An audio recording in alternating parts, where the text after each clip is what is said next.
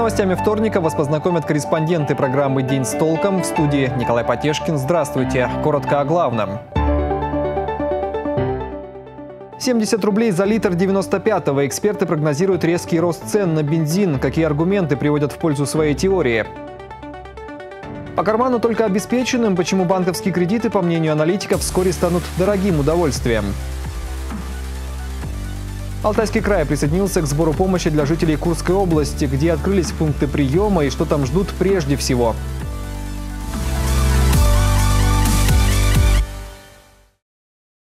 Итак, бензин подорожает до 70 рублей за литр. Эксперты предупреждают водителей, что стоимость топлива повысится уже в сентябре. Подорожание бензина предрекли специалисты одной из крупных негосударственных корпораций развития и ряд федеральных экспертов-экономистов. По их мнению, цена на топливо совершит скачок уже через несколько недель. По предварительным прогнозам, литр 95-й марки бензина в розницу в Москве будет стоить 70 рублей. То есть в среднем стоимость литра прибавит в цене сразу 8 рублей. Регионы, по оценкам специалистов, общая общая тенденция стороной не обойдет, но взлет цен должен быть не столь значительным. К причинам удорожания эксперты относят геополитические обстоятельства и базовые проблемы. Среди первой группы – перебои с транспортировкой топлива железнодорожным транспортом, сокращение выпуска нефти, а также возобновление с сентября экспорта бензина. Среди базовых причин – продолжающийся в начале осени активный сезон отпусков и сбор урожая дачниками. Эксперты советуют автовладельцам пользоваться картами лояльности, чтобы сэкономить, и не исключают, что на фоне подорожания горючего в цене по цепочке подорожают логистические услуги, продукты и другие товары. А еще продолжит расти стоимость кредитов для населения, уверены аналитики. Во-первых, с сентября выдача суд станет для банков более затратной, а во-вторых, не исключено очередное повышение ключевой ставки Центробанка. Все это может отразиться на процентной ставке по кредитам и уже сейчас влияет на поведение заемщиков. Многие торопятся успеть до осени взять взаймы у банков. При этом известные российские экономисты призывают людей отказаться от кредитов, мол, все это слишком рискованно. Так брать или не брать в долг у банков? С этим вопросом вопросом мои коллеги обратились к известным экспертам. Есть кредиты, пользовались когда-нибудь, нет? Да, конечно. Как вообще к ним относитесь? Ну, положительно. Почему? Ну, если вовремя платить, то проблем не создается. На то, что проблем не возникнет, надеется каждый заемщик, когда берет кредит. А банковские займы у населения нашей страны, как и многих стран мира, весьма востребованы. По оценкам экономистов, кредиты есть больше, чем у 50 миллионов россиян. И многие из них именно сейчас снова желают взять взаймы у банков. Спешат заемщики из-за возможного роста ключевой ставки. Очередное заседание Центробанка пройдет 13 сентября и, соответственно, повышение процентов по кредитам. Вопрос, брать или не брать, у барнаульцев вызвал разные суждения не при нынешней ситуации, которая творится у нас на рынке. На данном отрицательно. Ставка очень высокая. Нет, сейчас точно нет. Я потерплю. Иногда выручает. Приходило в жизни брать кредиты. Ну, сейчас вот я взял ипотеку, чтобы помочь детям. Прямо сейчас кредит может быть, потому что инфляция, она съест эти деньги, если ставка будет фиксированная, без всяких там подводных камней. То есть, наоборот, может быть даже выгодно. Известные российские экономисты призывают людей отказаться от кредитов. Мол, слишком рискованно для заемщиков на фоне растущей инфляции и стоит дождаться стабилизации экономической ситуации. Местные эксперты не столь категоричны. По их мнению, верить в снижение темпов роста цен точно не стоит. И если кредит не блажь, а жизненная необходимость на лечение, покупку первого жилья, при правильном расчете вполне возможно и рискнуть. К тому же, уверен барнаульский экономист, повышение ключевой ставки Центробанком не сдерживает, а наоборот разгоняет инфляцию. На мой взгляд, решений, э, в этих решениях логики нету никакой. То есть они, в общем, особенно в современных условиях, только вредят экономике, бизнесу и людям. То есть э, чем выше ставки кредитные, тем выше нагрузка, выше издержки фирм, выше цены. То есть это один из стимулов инфляции, э, ради которой, собственно, борьбы с которой, нам говорят, и повышать.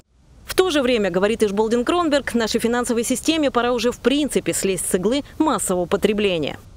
Конечно же, кредит вещь хорошая, а, вот, полезная и а, в плане, так сказать, потребительском а, очень серьезно влияющая на экономику, да, но с другой стороны, ну, как бы старшее поколение, во всяком случае, помнит времена, когда никаких кредитов не было, и люди как-то жили, справлялись, так сказать. И, э, то есть, возможен, как бы, я намекаю на то, что возможно и э, другое, так сказать, развитие, другая модель, так сказать, или парадигма, как иногда говорят, э, развития, в рамках которой, в общем, э, целый ряд проблем, с которыми мы сейчас сталкиваемся, они просто не стоят. Но пока отказаться от кредитов в принципе не готовы ни финансисты, ни многие рядовые граждане. Я не брала никогда кредиты и не планирую их брать. Ну, вообще это удобно. Если ты точно знаешь, что с этим рассчитаешься, и... то и проблем не будет. Конечно, выручают, нужны. Кредит, говорят все, без исключения экономисты, требует холодного математического расчета. Его результаты дадут объективную картину, стоит ли залазить в долговую кабалу. В большинстве топовых банков средняя ставка по потребительским кредитам уже сегодня от 18% и выше. И она, убеждены аналитики, продолжит расти. Елена Макаренко, Владислав Ковалев. День с толком. Алтайский край присоединился к сбору помощи жителям Курской области. Пункты сбора открылись в первые дни вторжения ВСУ. Как сейчас можно помочь жителям Курской области, многим из которых пришлось покинуть свои дома, расскажет наш корреспондент Ирина Корчагина. Вещи для деток мы сортируем по категориям. Вот, например, комплекты от 0 до 2 месяцев, вещи от 0 до 3 месяцев, комбинезоны зимние. То есть мы подготавливаем, все сортируем, все индивидуально упаковывается. Всего за неделю фонду «За своих» удалось собрать порядка 18 тонн гуманитарной помощи для жителей Курской области. В приоритете медикаменты, одежда, предметы личной гигиены, продукты длительного хранения, вода, новые спальные принадлежности, детское питание, подгузники, пригодится все. Напомним, на прошлой неделе в Белгородской, Брянской и Курской областях был введен режим контртеррористической операции. По состоянию на 12 августа из Курской области эвакуировали уже больше 120 тысяч человек. Все эти люди уезжая, брали только самое необходимое. Уже в первый день вторжения ВСУ Алтайский край объявил о сборе помощи для жителей Курской области. В этот же день нами был выставлен пост, а, благотворительным фондом объявлен сбор, к которому очень активно подключились районы. Огромнейшее спасибо вот прямо от всего сердца хочется сказать жителям Тальменского района, жителям Красногорского района, Хабары, Славгород. То есть это люди, которые в течение суток двух собрали целыми газелями помощь, и в настоящее время она комплектуется на базе ГО. С утра до 10 мы их впускаем, и ближе к вечеру уже все забирают. Огромными партиями вещи свозят на базу ГОЧС в Барнауле. Именно отсюда отправится фура в Курскую область. Кстати, жители страны и Алтайского края в том числе освоили новый и оперативный способ помощи через популярные маркетплейсы. То есть, живя за тысячи километров, можно оплатить заказ и его доставят в пункт выдачи в Курской области. Все подробности можно узнать в соцсетях движения «Мы вместе». Также штаб «Мы вместе» открыл сбор помощи в Краевом дворце молодежи в Барнауле. И это лишь малая часть того, что удалось удалось собрать за несколько дней. В принципе, собрано уже свыше 250 килограммов гуманитарной помощи. Кто-то увидел там новость, кто-то увидел в соцсетях. А сегодня, допустим, молодой человек приходил и сразу уточнил, что нужно, пошел, магазин и принес, то есть там медикаменты, принес э, средства личной гигиены. Работы достаточно много, потому что люди приходят постоянно в течение дня, приносят большими партиями, большими пакетами. Мы когда принимаем, мы смотрим, что при нам принесли, то есть как бы на сроки годности, на состояние, то есть если детские вещи или вещи в принципе, мы смотрим, чтобы они были не порванные, не грязные. Все волонтеры находятся на постоянной связи с Курской областью, чтобы оперативно узнавать о том, что действительно действительно сейчас нужно людям, которые попали под атаку ВСУ. Так, например, нужна помощь и вооруженным силам, которые были переброшены в Курскую область. Маскировочные сети, амуниция, нательное белье. Срочный сбор гуманитарной помощи объявил и Народный фронт в Алтайском крае. Народный фронт Алтайского края объявляет сбор для пострадавших территорий Курской области. Нужны в большом количестве генераторы, средства РЭП для автомобилей скорой помощи, а также для других технических служб. На ваших экранах адреса пунктов сбора помощи в Барнауле. После 18 августа гуманитарный груз отправят в Курскую область, туда, где его сейчас очень ждут. Ирина Корчагина, Алексей Фризин. День с толком. В Барнауле для детей участников СВО и их семей провели мастер-класс по изготовлению самолетов. Мероприятие приурочили ко Дню военно-воздушных сил России. Подробнее о том, какие модели получились и о впечатлениях юных создателей, расскажем далее. В детстве все делали самолеты из бумаги. Летали они эффектно, но недалеко. Чтобы смастерить модельку поинтереснее, уже нужны небольшие знания об аэродинамике и строении воздушного судна. Ими с детьми участников СВО делился Владимир Пушенко, педагог городского центра развития творчества и спорта. Мастер-класс провели в честь Дня военно-воздушных сил. Фюзеляж – это то место, куда загружаются бомбы, если бомбардировочный самолет, где располагаются пассажиры, если самолет пассажирский. Чтобы сделать модельку планера, детям нужно было лишь несколько вещей. Специальная рейка, бумага и клей. Хоть самолет и кажется простым, смастерить его не так уж и легко, особенно хвостовую часть. Поэтому ребятам помогали родители и другие родственники. Мы приехали на мастер-класс сегодня, побывали, очень нам понравилось, тем более в преддверии праздника. А, много узнали про самолеты, Оказывается, столько интересного можно было узнать. Организовали мастер-класс члены Комитета семей воинов Отечества в Алтайском крае. Основная цель этого объединения – поддержка родственников военнослужащих и организация патриотически творческих мероприятий. Ребятишки с большим трепетом и с очень интересом слушали не только, как изготовить самолет, но и о том, как он управляется, как делает бочку, как делает петлю. В завершении некоторые дети и сами попробовали сделать бочку на новеньких самолетах. Это возможно благодаря бумажным эллеронам, которые регулируют крен. В общей сложности в мастер-классе приняло участие около 20 человек. Впечатление хорошее. Впечатление отличное впечатление. Данил Кузнецов. День с толком. Продолжим. В Госдуму внесли законопроект, который обяжет родителей содержать детей до 23 лет, а именно студентов-очников. Депутаты считают, что студентам трудно жить на копеечную стипендию, а эта мера гарантирует им финансовую поддержку. Если же у родителей отсутствует такая возможность, совершеннолетние дети смогут претендовать на помощь от братьев, сестер, дедушек и бабушек. Срок выплаты алиментов, соответственно, тоже увеличивается на 5 лет. Как к такой инициативе относятся барнаульцы, выясняла наша съемочная группа. В принципе, для большинства родителей, а может быть для доброй половины, сценарии не поменяются. Мы содержим своих детей так и так, пока они учатся в вузах. Нас родители в какой-то степени содержали. А дальше много, наверное, зависит от культуры воспитания. Да? Мы же многие в университете начинали работать помогать родителям. Мне кажется, что нужно, потому что у студентов не всегда бывает время заработать себе на обучение, на проживание. И нужно больше сконцентрироваться именно на учебе, нежели на выживании. Я не согласна. Пусть решают сами и дети, и родители. Кто может, тот поможет. Кто не может, Правильно. сами родители и дети пусть мы помогаем, хорошо помогаем. У меня сестры потеряли рано своего папу, и они вот первое образование на свое получали элементы. Это очень их сильно поддерживало. Они получали еще плюсом социальную стипендию, и это им дало полноценную возможность до конца доучиться и получить красные дипломы. Это должно быть, наверное, в добровольном порядке. У меня сын сам в Санкт-Петербурге учится на платном. За обучение плачу, за то, что живет на съемной квартире, тоже оплачиваем. Мама с папой. В советское время наши же родители приводили пример, что а, а, дети старались уже в таком как бы сознательном возрасте помогать родителям и зарабатывать какие-то средства себе, там, то есть на карманные хотя бы расходы. Да, разговор а, о том, что содержать, там, обучать, я думаю, конечно, родители должны. Ну, насколько это принуждать через законодательство, вопрос спорный. Представители туристического бизнеса Турции вновь предложили отменить систему «Все включено», пояснив, что туризм должен развиваться, а это предполагает всевозможные варианты размещения гостей на курортах страны. К примеру, отели без включенного в стоимость путевки алкоголя. Как подобным предложениям относятся барнаульские эксперты и не упадет ли турпоток в случае отмены All Inclusive? Турки вновь заговорили об отмене популярной у россиян системы «Все включено». Если All Inclusive исчезнет, то ситуация на туристическом рынке точно изменится, утверждают специалисты. В этом случае большинство людей скорее выберут для посещения Египет или Дубай.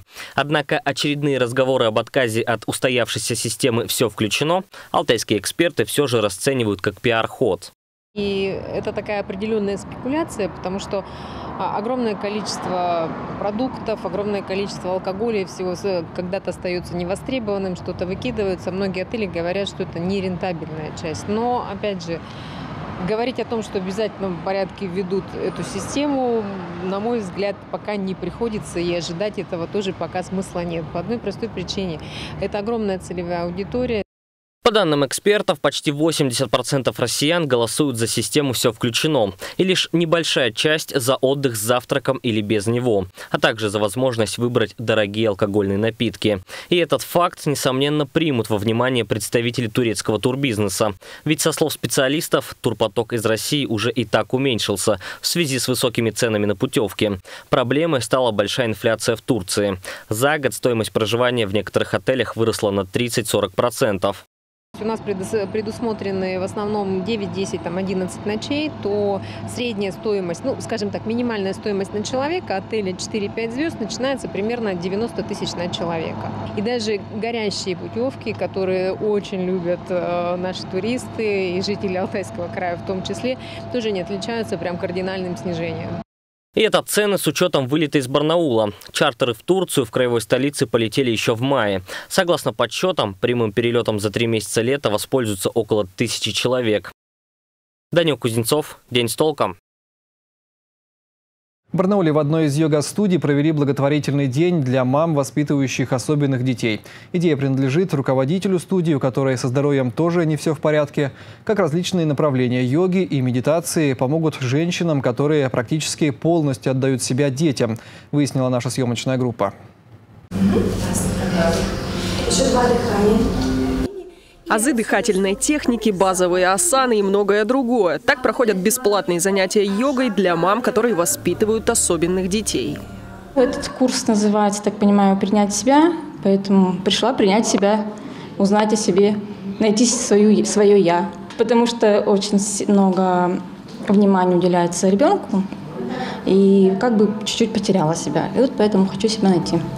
Найти себя Наталье помогли в Барнаульской йога-студии. Там впервые провели благотворительный день для мамочек все-таки хочется делать добро, и понимая, что сейчас очень много людей а, и детей находятся в особенном положении, то есть разные болезни, и хотелось бы чем-то помочь, хотелось бы помочь йогой мамочкам успокаиваться, медитировать, наслаждаться жизнью, а, своим телом тоже заниматься и заниматься своей жизнью, не только погружаться в детей. С 8 утра и до 9 вечера преподаватели студии работали с мамами особенных детей и специально для них разработали различные практики и медитации. Понятие и принятие себя и детей, здоровая спина, любовь к себе, занятия йогой в гамаках «Позволь себе летать». Моему сыну 13 лет, у него диагноз аутизм. Усталость сейчас чувствую, потому что эмоционально вымоталась на этой практике, потому что прям все там проживали. А что проживали, что делали? Расскажите поконкретнее. Много чего делали. Рычали, кричали, плакали, танцевали. За весь благотворительный день студию посетили порядка 10-12 мам. Кроме того, для особенных детей был организован сбор средств. Они сегодня с утра делают пожертвования, и по истечению дня мы переводим сумму именно на особенных детей города Барнаула, я бы так уточнила, именно для наших детей. Сегодня мы попробовали это, да, и хотелось бы еще повторить повторить, и, наверное, раз в месяц мы будем устраивать что-то такое благотворительное. За день для детей удалось собрать пока небольшую сумму – порядка 10 тысяч рублей. Однако, уверен руководитель студии, это только начало. Юлия Щепина, Владислав Ковалев. День с толком. И о спорте доски, лодки и перчатки. В Барнауле завершились финальные баталии по шахматам, кикбоксингу и гребле на байдарках и каноэ. 12-я летняя спартакиада учащихся, которая завершилась в краевой столице, объединила сотни сильнейших спортсменов из разных уголков страны. Об итогах спартакиады и почему такие старты – серьезный этап в карьере каждого спортсмена, расскажет Дмитрий Дроздов. В спартакиаде учащихся России участвуют дети до 17 лет. Она проходит раз в два года. Ценность ее в том, что спортсмены, побеждая, получают не только медали, но и очки для своих регионов, поднимая их в рейтинге спортивности. А это и престиж, и финансирование, и шанс попасть в сборную России по своему виду спорта. Тем самым уровень турнира высок не только для спортсменов, но и для организаторов. Регион может о себе заявить, как о городе, который готов принимать самые масштабные соревнованиях. Вот Барнаул уже много-много раз доказывал то, что самого высокого уровня соревнования мы довольно-таки легко проводим на высоком организационном уровне. И все гости, которые приезжают сюда, оценивают и говорят, что это ну, одни из лучших соревнований. Вот э, сейчас э, в промежутке тоже представитель Всероссийской Федерации говорит, что это было самое лучшее мероприятие за вот именно по этому возрасту Спартакиада лучшее в России. Раньше всех свое выступление на Спартакиаде начали шахматисты. 16 регионов привезли сильнейших игроков королевской игры. Команды играли в 7 туров, и согласно регламенту очки начислялись как за победу, так и за поражение. Наша команда здраво оценивала свои шансы и ставила перед собой задачу попасть в топ-10. Не хватило совсем чуть-чуть. Сборная Алтайского края в общем рейтинге стала 11 а вот первое место заняли шахматисты из республики Башкортостан. А самое главное, что эта спартакиада объединила три, казалось бы, совершенно разных видов спорта. В советское время а, многие а, игровые виды спорта, ну, в том числе, кроме игровых, еще и бокс, и, ну, тогда кикбоксинга не было, да, они а, играли в шахматы, потому что шахматы, они же учат просчитывать вперед, да, в кикбоксинге это важно. В гребле я тоже надеюсь, что это пригодится. А э, такой вид спорта, как шахбокс, который мы на самом деле во время суперфинала покажем, говорит о том, что кикбоксинг и шахматы не так уж и далеки. Третье место в общекомандном зачете спартакиады по кикбоксингу заняла команда Алтайского края. С такими результатами наши файтеры зафиналили домашний турнир. Всего в копилке алтайских спортсменов три бронзы и долгожданная золотая медаль от бийчанина Василия Юрченко. Кроме спортивной части, для гостей спартакиады организовали и культурную программу. В целом, все участники соревнования довольны. Выехали на Нагорный парк, э, э, сфотографировались у знаковой, э, знаковых букв Барнаул, поэтому я думаю, что это замечательная массовая фотография разлетится по всей стране. Медали завоевали и наши гребцы на дистанциях 200 и 500 метров, серебро и бронза. Стоит отметить, что на водные баталии приехало свыше 300 участников. Это самая массовая делегация спортсменов. Организация этой спартакиады Алтайский край в очередной раз доказал, что готов на 100% принимать не только российские, но и международные старты высочайшего уровня. Дмитрий Дроздов, День с толком. На этом у меня все. Спасибо, что были с нами. Если вам есть что рассказать, ждем звонка по номеру 205 545. Хорошего вечера и до встречи в эфире.